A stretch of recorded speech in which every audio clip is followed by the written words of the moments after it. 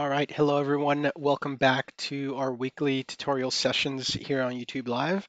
I'm Chris at DecoNetwork and I'll be the host for today.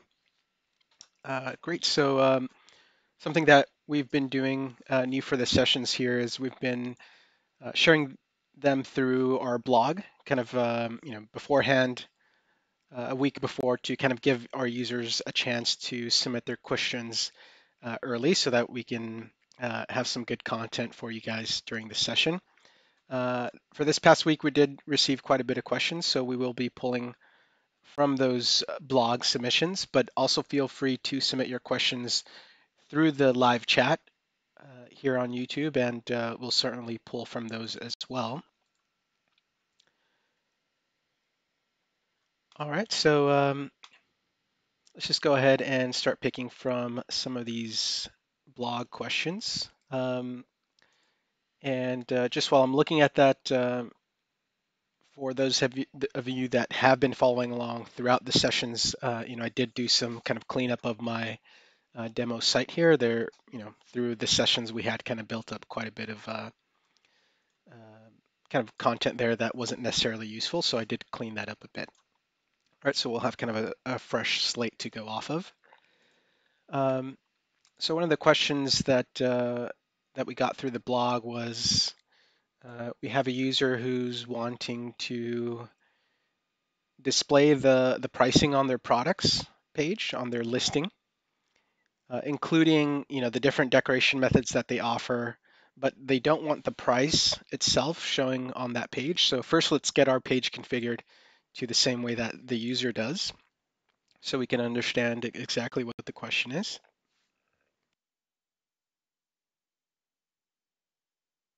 So we're going to come here into the page editor. I'm going to configure my product listing widget. And actually, we need to go back into my admin section. So right now my settings are defined globally, which is why I can't change them. So I'll go into admin products. And then from the products menu, I'll choose blank product display. Uh, so it's these two sections here. Now we do have the option to allow the store to customize that, which is when these fields would be opened up for me to change. But since I do have that disabled, uh, I have to make the change globally. All right, so let's just make it globally. Let's say uh, we're choosing option three. So this is the display uh, that we're going to see. We're going to see uh, each of the decoration methods that a product supports. And then next to that, the piece price. Uh, so the price for one piece using that method. Okay, so let's save that change and we can go back to our products page and refresh to see that change.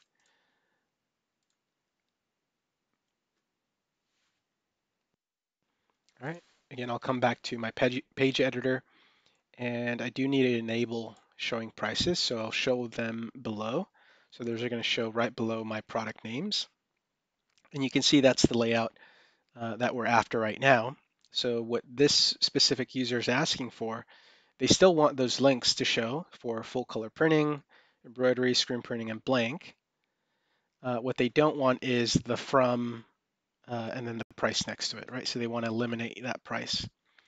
Uh, so I, you know, we did want to cover this option uh, because this isn't actually something that that we have the the option to disable uh, through the options for the design listing widget, but it is something that uh, you can perhaps adjust using some custom CSS. So you know, quite a few of the questions that we did get submitted through the blog are ones that would require more uh, technical customization. So you know, today's session might kind of focus on that.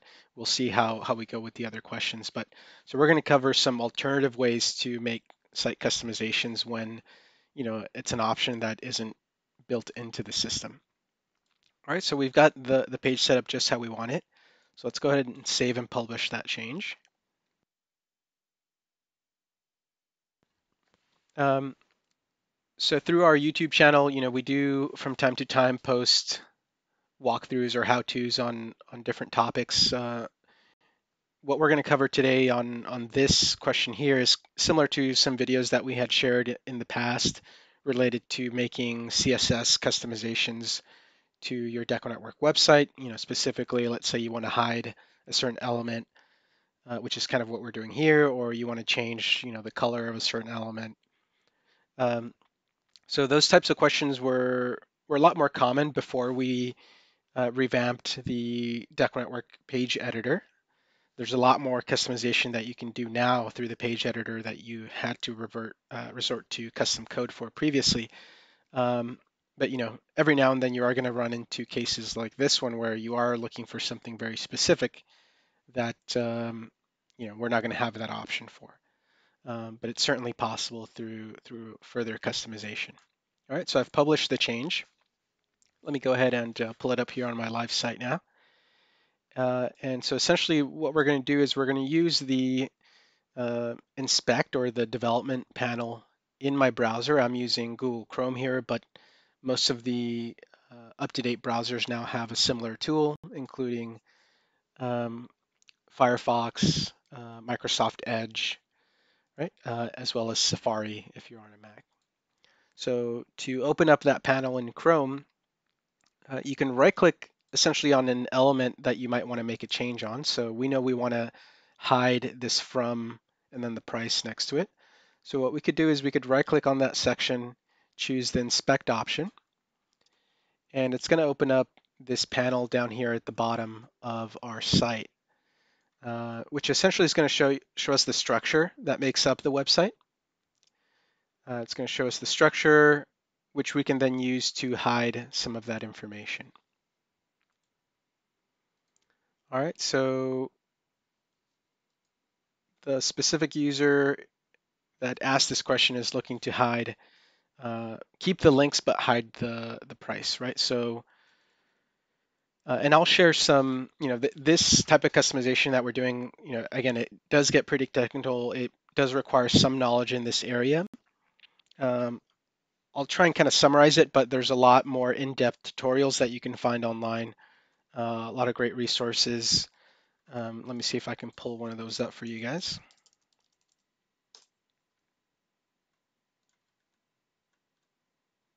So w3schools.com is a good resource for kind of general uh, general web development information uh, from topics like HTML, CSS, uh, JavaScript, you, know, you name it as far as web development, and they kind of have information, reference guides, uh, tutorials, things like that. So definitely a great resource if you are interested more on this technical side uh, of the customization for your site. Uh, so what I'm going to do is I'm going to come back here. Essentially what we're going to do is build out some CSS rules that are going to hide that content that we're looking to hide. And CSS rules, as far as your DecoNetwork website is concerned, are applied back into your website's uh, Edit Website menu. So if you go under Edit Website, you'll find the option for your template CSS. If we open up that page,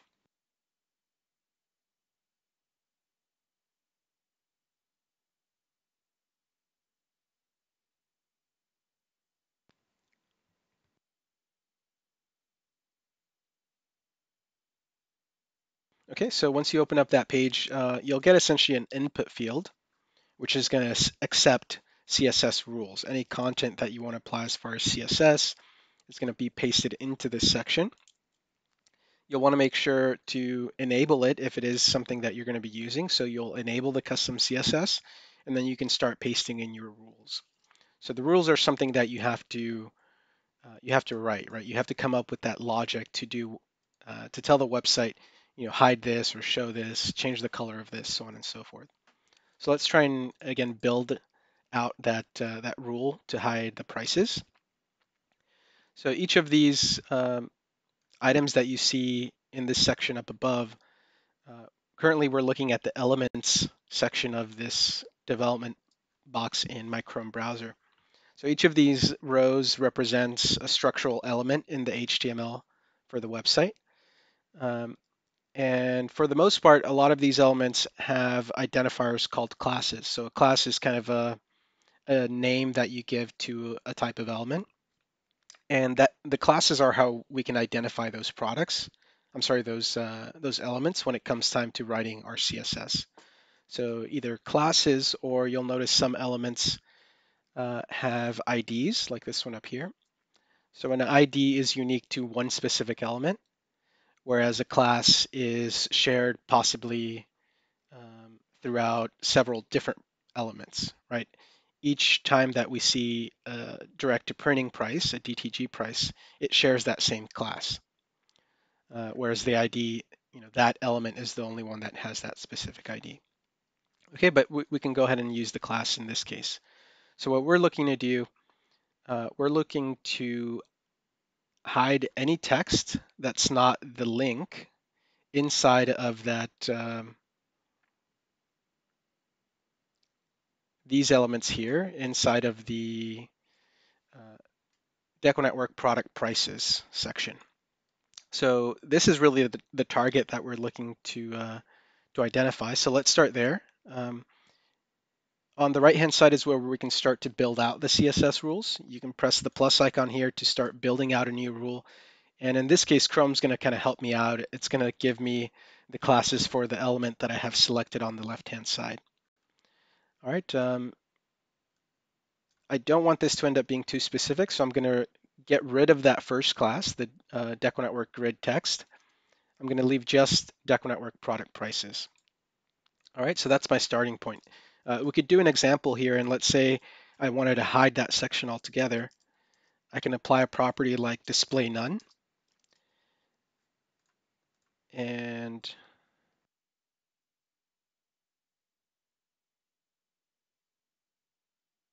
I'm sorry, it looks like that locked up on me. There we go. Uh, let's see, let's try editing it here. All right, so I can apply a property uh, display none to that element. And you can see it's gone ahead and hidden all those uh, away from my page.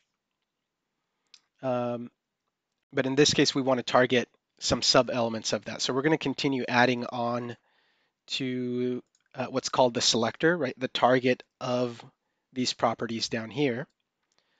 So let's kind of continue looking at the structure here on the left-hand side and see how we can identify exactly what we need to get rid of. Right, so we've identified our starting point, Deco Network product prices section.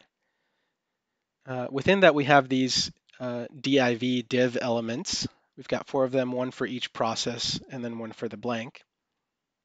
And then what we're looking to hide is contained within that.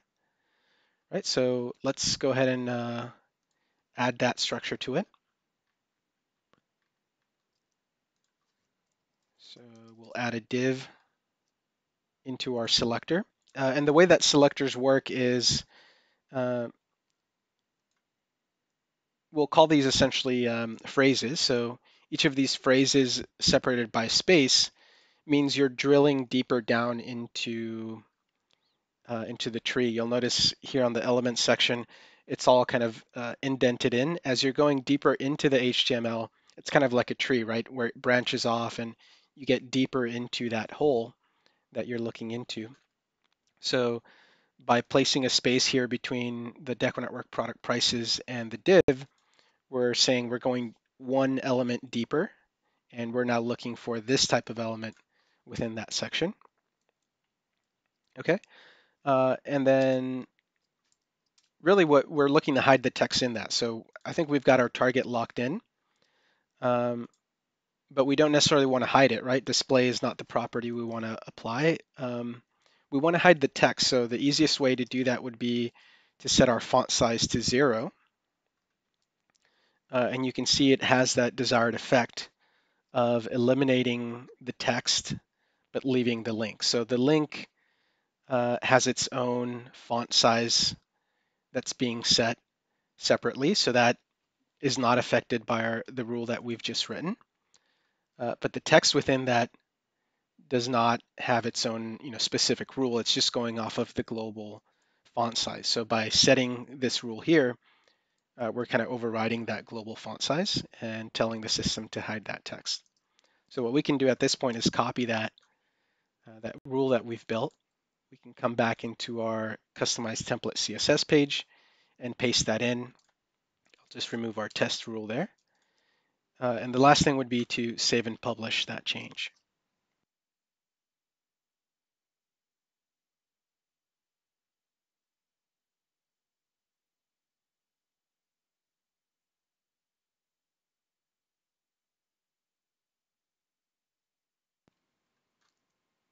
All right, um, so while that's publishing, a couple things to mention.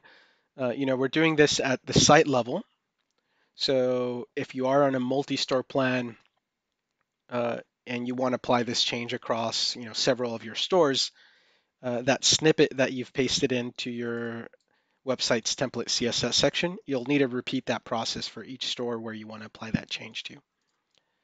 Okay. So at this point, I could go ahead and close that uh, separate section of my uh, my browser there. I can just refresh the page, and without having to go back and uh, apply that change, it should already be live because it's it's pulling in that custom CSS that I've brought into my site.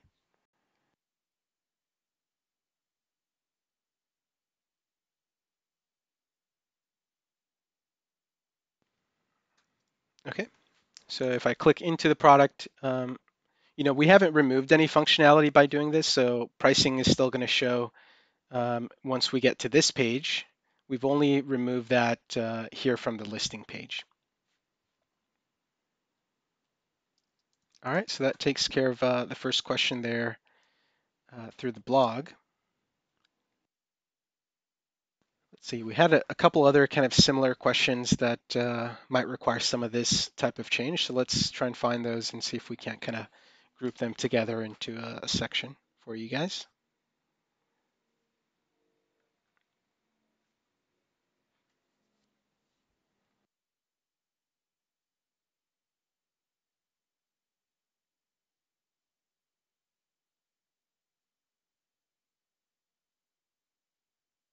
Okay, so there's one other question. Uh, it's not related to the uh, the website customization.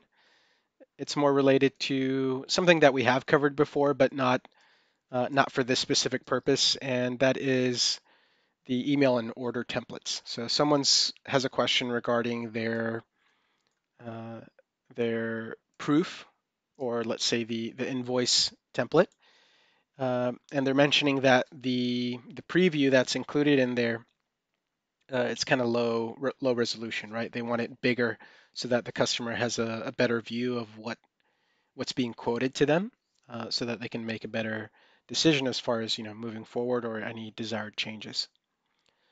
Um, so let's jump into that. So we're going to kind of move away from the site here for a second.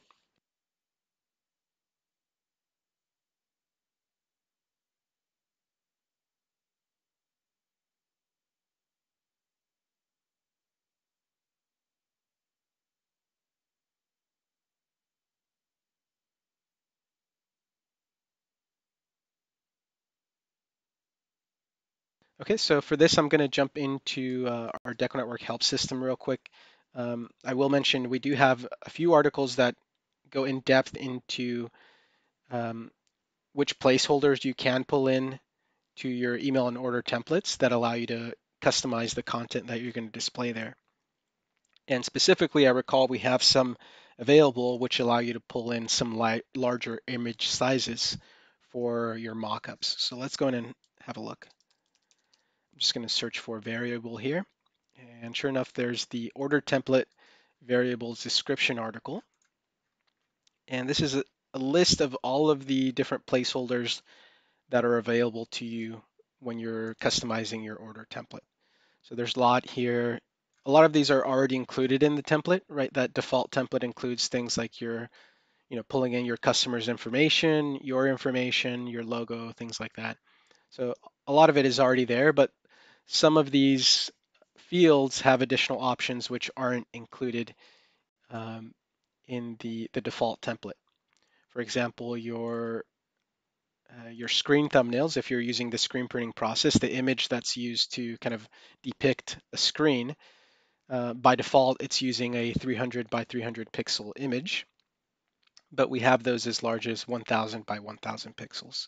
So you could kind of swap out that placeholder and that means your template's not going to use that larger resolution image. Uh, same goes for the view, which is really the one that we're going to be looking at today. The view is the um, essentially the mock-up, right? That's the blank product with the design on it. Uh, so that's really what the customer is describing when they say, you know, the, the mock-up proof. Um, again, by default, we're using a 300 by 300 pixel image. Uh, but we offer up to 600 by 600. So we can double the size of that and gain a bit more resolution.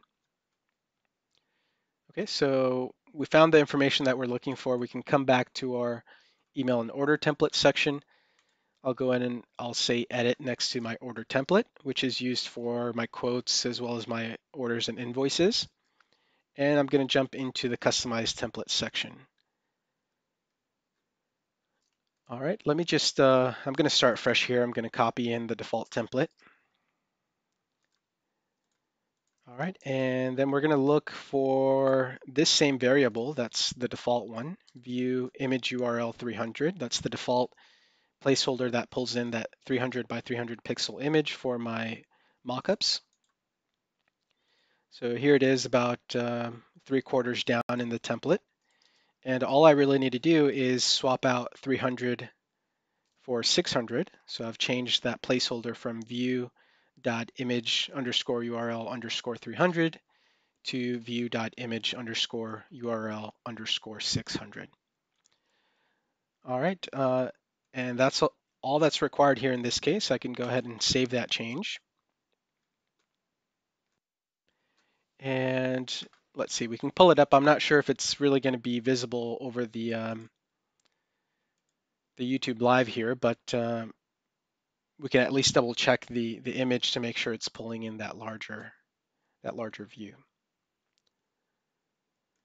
All right, let me just pull up a test order here that should have a mockup. This one should have it. And we can do view as customer to check that out.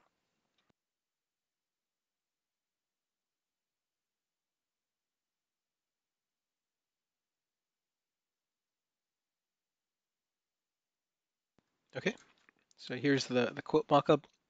If we scroll down here, uh, you can see right away, actually, you know, it's a much larger image than uh, you would normally see here. Uh, so it has uh, doubled in size. We could just double check here. Um, check the image. If we right click and say image open, uh, open image in new tab, you can see Chrome lets me know that's a 600 by 600 pixel image. So again, we've doubled the size of that mockup so it can appear larger on, on the uh, order sheet. Okay, so that's kind of a quick customization that you can do uh, to your to your order template if you do want larger mockups. Again, we do go up to that 600 by 600 size.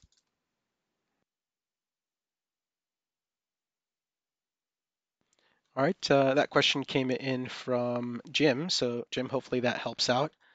Uh, and then on that previous question, that was from Kaylin. So Kaylin, hopefully that uh, that website customization option helps you with hiding the prices from your listing, but keeping them on your product page.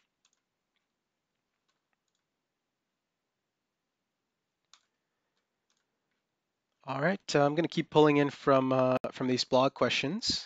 Um, so that was it for the customization side. Uh, you know, we did touch on some website customization, uh, which can be generalized. So what we covered as far as the step for identifying what that selector needed to be. Um, you know, that same uh, idea you can apply to other things that you're looking to change, other parts of the system that you might be looking to hide, or let's say change the font size for, change the color for. Um, I will uh, stress, you know, leave those types of customizations as kind of a last resort. Again, the, the web page editor gives you so much flexibility. You want to use that as much as you can so that you don't have to worry about the custom code. But uh, you know, if it is something that definitely is not offered, you do have that code access. Uh, so why not take advantage of it? Okay. So again, we're moving off of customizations now, and uh, we've got a question from Gary who wanted to know about pricing. So, you know, he's looking into he's still during his setup process, so he has questions about um, pricing. He's not sure, um, you know, what all the variables are that he needs to consider when setting up his pricing. What's the easiest way to set it up? He, you know, he just wants to make sure that during the setup he's doing it the right way from the start. Um, so I, I, definitely understand where where you're coming from, Gary. Um, we'll definitely jump in and take a look and I'll give some recommendations, you know, based on what I typically see. uh, what's the most successful type of setup for your uh, your decoration pricing. Okay, uh, and then Gary does have a follow-up question as far as uh, Business Hub. Uh, he mentions uh, right now they they use kind of a coloring system to uh, to identify orders. Uh, I'm guessing through through the production cycle, um, and he's wondering if there's any any improvements uh, that can be made there, or, or just looking for general ideas on that. Okay, so yeah, let's jump in. Um, so to get into the pricing, uh, you're going to go into your admin section. You're going to choose decoration processes, and there's going to be a section down at the bottom of that list for decoration pricing.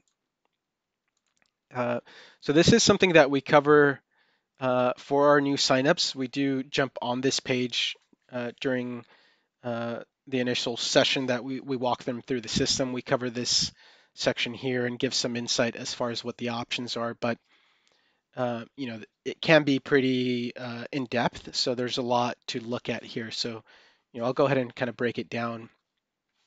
Uh, in terms of what I would recommend, um, you know, we'll run through each of the processes here and and give some feedback as to what I typically see. Um, I will mention a lot of this does have to do uh, with variables specific to to your business. So I, you know, it's not going to be possible for me to give a formula here that's going to work for every business or you know that's I could guarantee is going to be successful pricing for you. Um, but based on my knowledge of the processes and again what I see uh, across different customers and the way that they're doing it, um, you know I'll give feedback based on that.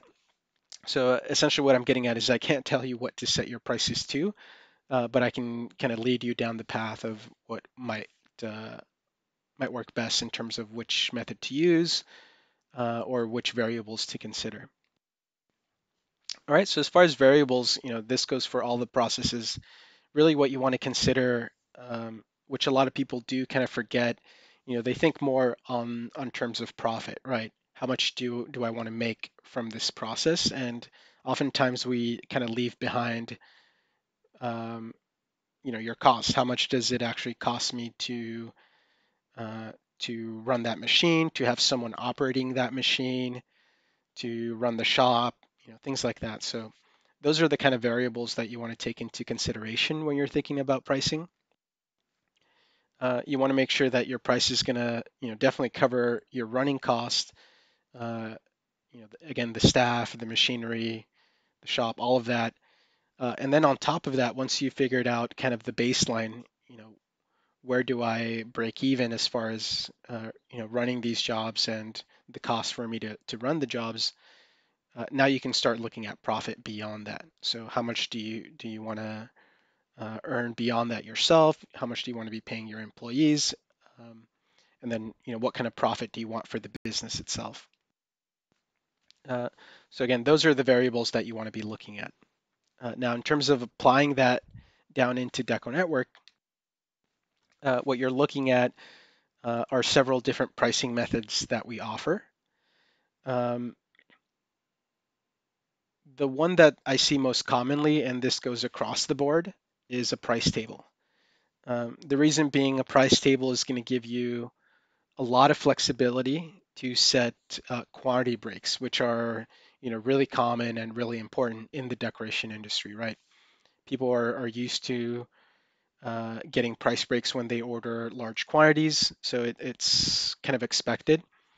Um, other pricing methods that we offer, like uh, single price, don't give you that flexibility of, of quantity discounts. So uh, whatever price you set here, using a single price method, is going to apply regardless of the quantity being ordered. So you know, if someone's ordering one shirt and you're charging $10 for the print, that's fine. But uh, if they're ordering 100 shirts uh, and you're still charging $10 for the print, you know, they, they might have an issue with that.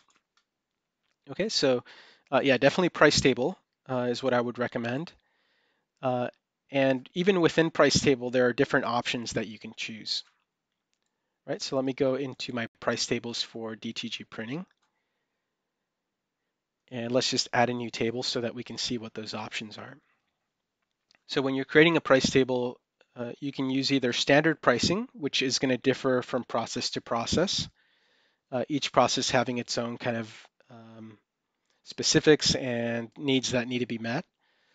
Um, for example, DTG's standard pricing is going off of print locations. So um, first print location, second print location, third print location, so on and so forth. Uh, process like embroidery with standard pricing is going to use stitch count.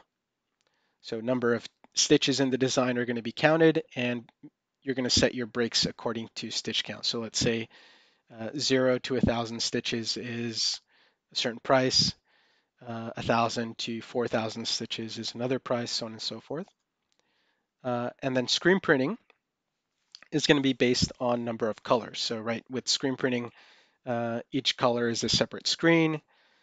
Um, and so the price is going to differ based on you know how many colors are in the design determines how much uh, cost there is to actually set up and run the job and things like that. So screen printing's standard pricing is number of colors. Okay, uh, but beyond those standard uh, those standard pricing methods for a price table, we also offer area-based pricing. Uh, and area-based pricing is, um, you know, it's super flexible for processes uh, like DTG, like sublimation. Uh, if you are kind of reusing a process for something like vinyl, even though we don't support it, uh, it's definitely useful there as well. Um, you know, at the basic level, we do offer it as kind of a standalone uh, pricing method. You can use area pricing. And really, it's just a calculation of square inch. So our system's able to take a look at all of the graphics included on a product, calculate out the square inch, and that could either be uh, the square inch area of just the graphic itself, so excluding any transparent parts of the image, or you could uh, actually draw a box around the entire design and calculate the square inch area of that box, that rectangle. Um, so whatever way you choose, you know, the system's calculating that square inch area and then charging a per square inch price. Um, okay, um, but on the price table side for area pricing, uh, there's different three different options that you can choose. Um, so the first one is looking at square inches based on how many areas you've used. So um, let's say you've only used one area, uh, you might have a certain price. Once you start adding areas, your square inch price might go down, right? Because they're they're kind of decorating more, so you might give them a break and, and bring that price down. Uh, the other two options are going to be uh, flexible in terms of giving breaks to your customer based on the size of the graphic. So uh, the first option would be if you want to have ranges of sizes and then assign prices to that range. So for example, you might have uh, a range like if the design is from 0 to or 0.1 to 10 square inches, I want the price to be $10, right? So it doesn't matter if it's two square inches or six square inches. If it falls within that range, it'll be $10. Uh, otherwise, the third option here, you can still set those ranges, again, 0 to 10 square inches, uh, but then the system's going to take a look at a per square inch price. So from 0 to 10 square inches, my per square inch price is 50 cents. Uh, and then from 11 to 20, it's 40 cents, right? So a range and then an associated per square inch price. So there is, like I said, a lot of flexibility with the price tables. Um, for processes like embroidery and screen printing, uh, for those two, I definitely recommend sticking with the standard pricing, um, right? Because it is uh, so specific to those processes, stitch count and number of colors. You know, that's something really re unique to embroidery and screen printing that you really want to take advantage of that functionality. But for processes like DTG printing, um, you know, an area-based price table uh, would be uh, really beneficial for you to be able to identify um, you know what how much you're going to charge based on the coverage that you're laying down. Um, you know, certainly your your running costs are going to be the same, uh, whether the design is, um, you know, four square inches versus 20 square inches in terms of you still have to uh, run the electricity to that machine. You still have to have someone operating that machine, load the shirt, unload the shirt, all of that. Um, but you know, you're you are using a little bit less material in terms of consumables on, on the ink and that side. So uh, it does give you that flexibility to create competitive pricing, right? Charge um, a low rate for lower designs and charge a higher rate for the higher designs. Um, again, it, it's all going to be a balance in in terms of figuring out what your costs are and, and what you want to mark up on top of that for your profit and uh, both on your end and, and on the business end as well.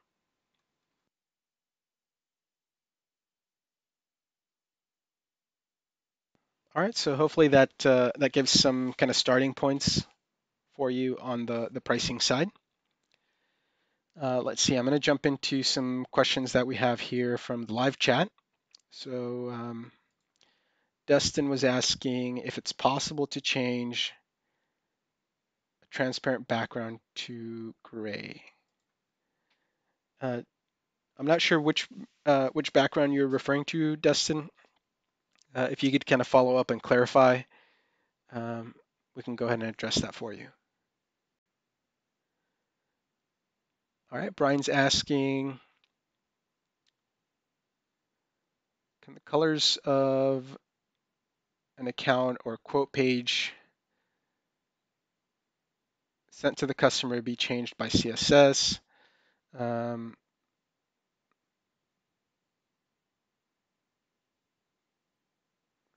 so he's having an issue with uh, items on the purchases section uh, being grayed out and the customer doesn't know that they can click on it. Um,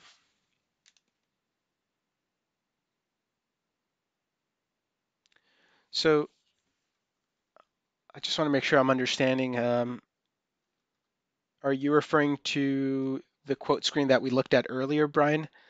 Um, this section here. Again, I'll ask to for clarification there. I'm not 100% sure that I know which uh, which section you're talking about. So if you could clarify as well, uh, we'll go ahead and jump back onto that one.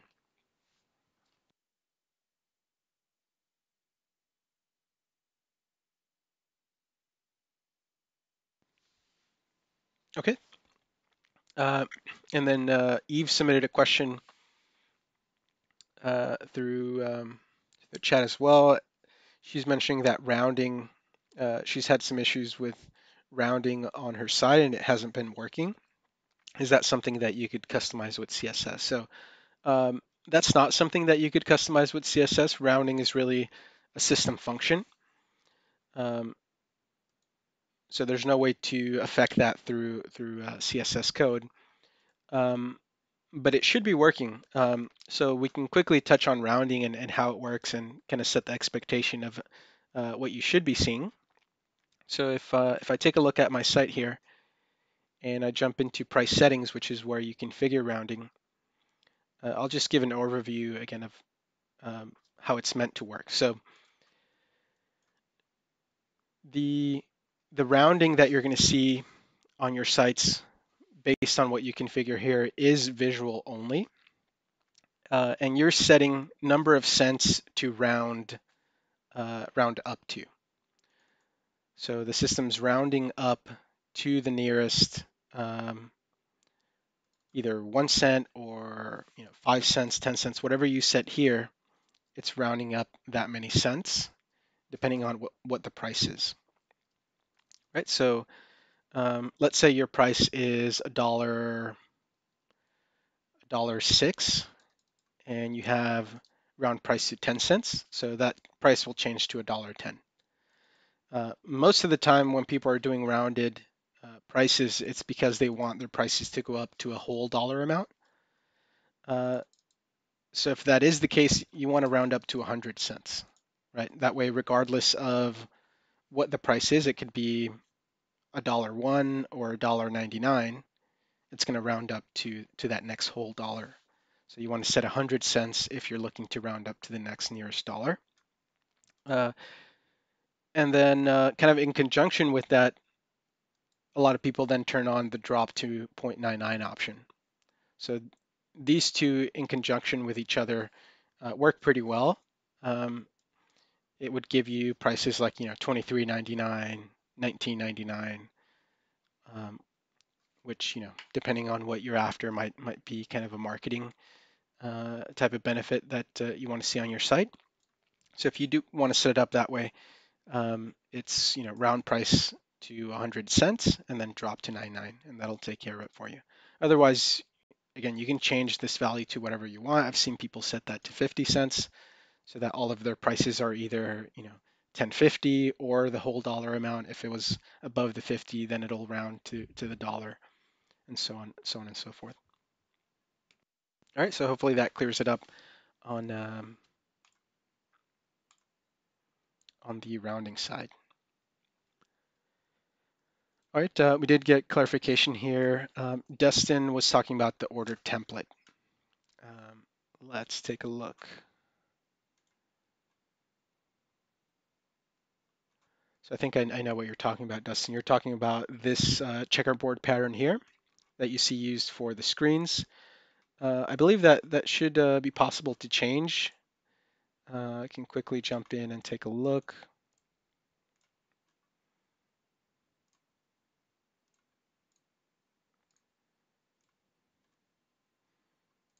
Yeah, so that checkerboard is not part of the image.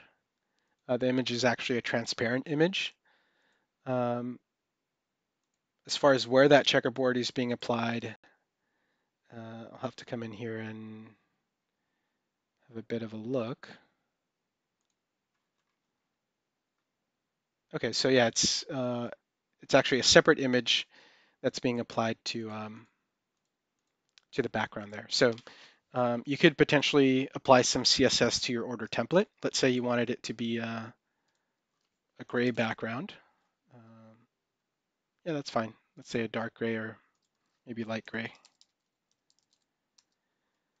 Okay, so you could copy that CSS. Uh, you might, you know, screenshot that and uh, try and use that yourself. So you could copy that. If you did want to apply that back to your order template, you'll go into order templates edit your order template, go into the customize section, uh, and then you'll place it into a style block at the top of your template. So you would need to type in style, type equals text slash CSS. Uh, when you do need to close that uh, element, and then you can paste in your CSS within that. Okay, so something like that, save that off, uh, and that should get us some gray backgrounds instead of the, uh, the checkerboard. Let's just refresh, double check, and sure enough, there it is. So we can reload that uh, customer view and we still have that gray background.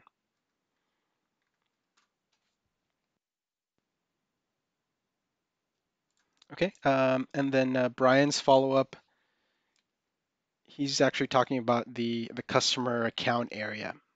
So when the customer logs into their account area, he was having some issues on that. So we can take a look there. So let me jump into that customer account area. Okay, um, I think he was talking about the purchases section.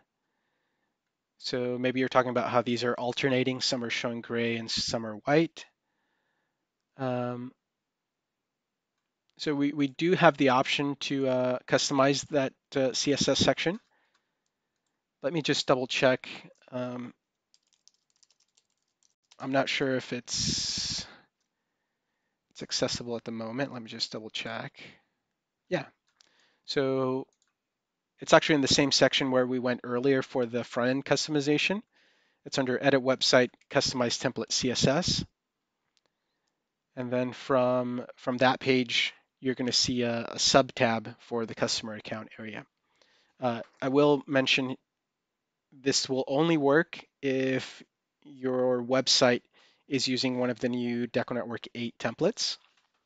If your website is using one of the older um, DecoNetwork 7.5 or, or, earlier templates, you won't have access to the customer account area CSS section. So uh, you do have to be using one of the new templates, uh, and this works just like the other section that uh, that I described. Uh, okay, so so again, getting at Brian's question.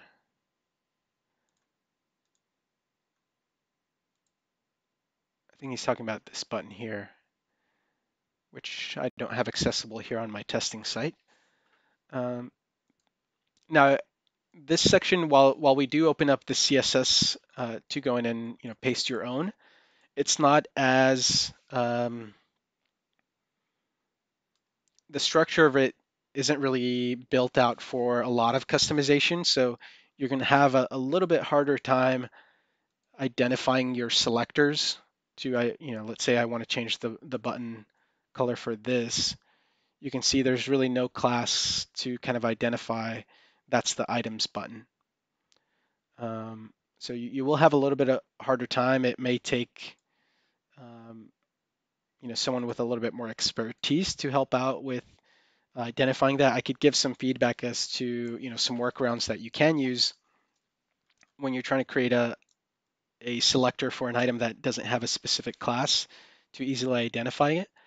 Um, one of the ways you can do it is um, using the CSS uh, child selector. So you could at least identify, let's say, the section where your where your element is, right? So it's under DNU header actions. So I'm starting there. But then within that, um, you know, let's say I want to select the second uh, div element, but it has no really identifier um, identifying class. So rather than trying to you know, input another class, I could put in the div element, and then I can use uh, colon nth uh, nth child, and then input in parentheses the the number that it uh, it is within that element. So it's the second child, the second child element within uh, DNU header actions. Uh, and then let's just try setting like a background color or something. Uh, so this is one possible workaround when you're trying to do those more um, harder to find uh, selectors. You can use nth child. That's one option. Uh, another thing, if you are targeting links, you can go based off of the URL. So let's say I wanted to change the, the color of the items link. Uh, again, I'll add a, a new rule there so you can target the, the A element, which is a link. Uh, and then in brackets, you can do uh, essentially the property there for the link, href, and then just put in its value. So equals quote slash user slash line underscore items.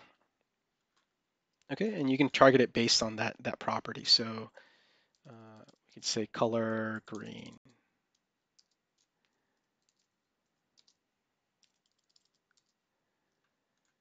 Okay, or let's try color white so we can actually see it. Okay, so those are two possible options, uh, you know, workarounds because this customer account area isn't structured out as uh, as uh, well as the website for customization, but uh, definitely some customization that you can bring in. Okay, so hopefully that one covers it, Brian. Um, and cool, looks like we uh, we did get to uh, Eve's issue with the rounding. Okay, uh, and then Dustin has a question on price tables, how to use different ones when quoting. Um, so that's not something that you can change at the, the quote level.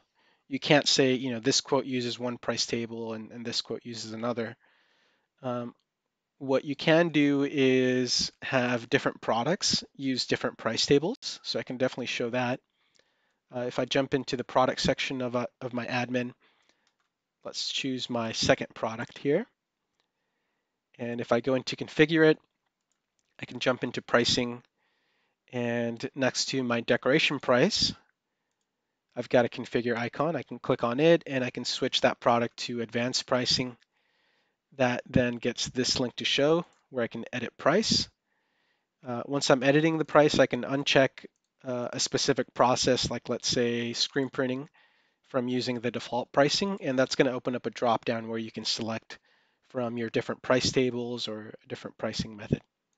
All right, so you can definitely override it at the product level. You can also override it at the product group level or product default. Um, so for example, I have three products under web store apparel.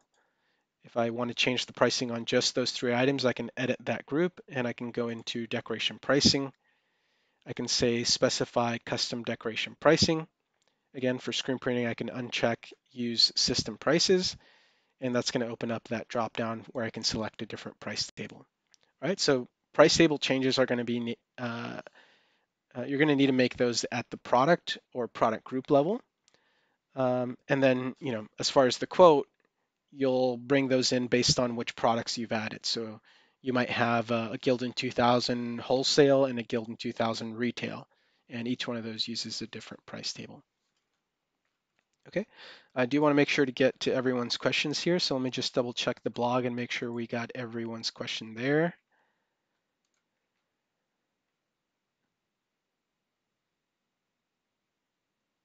Okay, so yeah, looks like we got everyone. Uh, there is one newer question on on the blog here uh, from someone who's still working on setting up their web store. Uh, they were just wanting to remove um,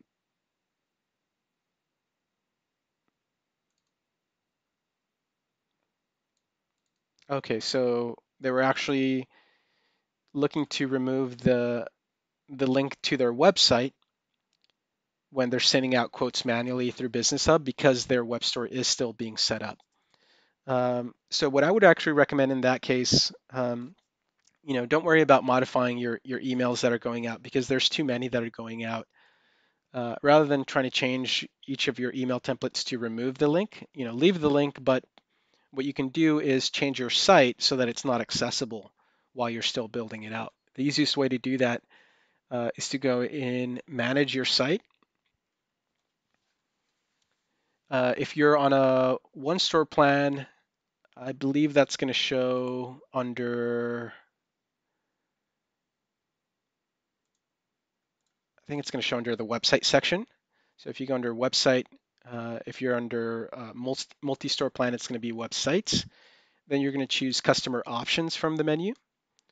And the one I'm going to recommend is um, customers must be logged in to view the website. So you can turn that on and you can switch it to a generic password. So whatever password you enter here uh, is going to be required in order to actually view the site. So your end customer can still click in and um, and uh, view the uh, the site, but they'll have to have that password if they actually want to go in and start navigating it. Okay, so that's definitely one option. Um, the other option I would recommend, um, which doesn't apply if you're uh, if the site that you're talking about is your main site, but if you are using an affiliate site, the other option that you have is to implement a redirect. So if you manage uh, a secondary site, again, this won't work on your primary one, but uh, you'll go into administration and then you'll choose redirection. And so that will allow you to redirect that site, let's say, to your main site or somewhere else so that whenever someone tries to visit that page, um, you know, they'll get redirected or they'll get sent somewhere else. Uh, and you can keep that redirect while you're building out the site uh, and then remove it once you're ready to take it live.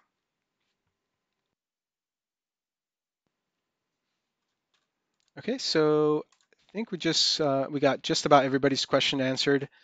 Uh, we are out of time for today, so I do want to thank everyone who uh, submitted questions. Lots of great questions in there. We did cover some more technical topics today, but I think um, you know they are beneficial, and we did uh, kind of help out a, a, few users there by tackling those uh, those harder topics. Uh, so do join back in with us next Wednesday. We're here on YouTube Live every Wednesday, uh, 1 p.m. Pacific, 4 p.m. Eastern. And uh, I do want to highlight uh, if we do have anyone tuning in who's not yet a DecoNetwork customer, we do recommend going into our deconetwork.com site, booking a tour with one of our reps. They'll walk you through the system. They'll show you, um, you know, what's the the business hub, the order management system like. What what can you expect uh, in terms of benefits for your shop? They'll walk you through that entire process uh, and see if it's a good fit for you. All right. So again, thanks for joining in, and we'll catch you guys on the next one. Take care.